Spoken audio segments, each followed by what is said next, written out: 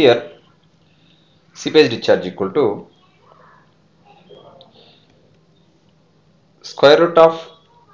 kx into kz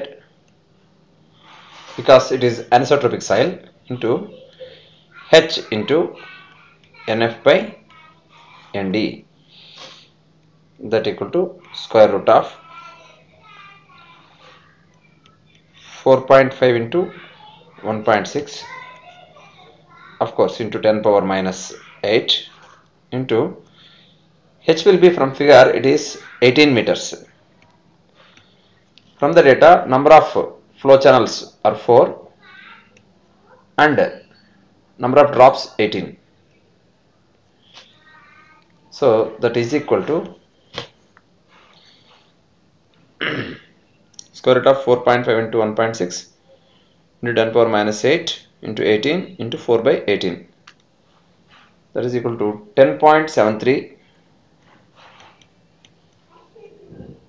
into 10 power minus 8 meter cube per second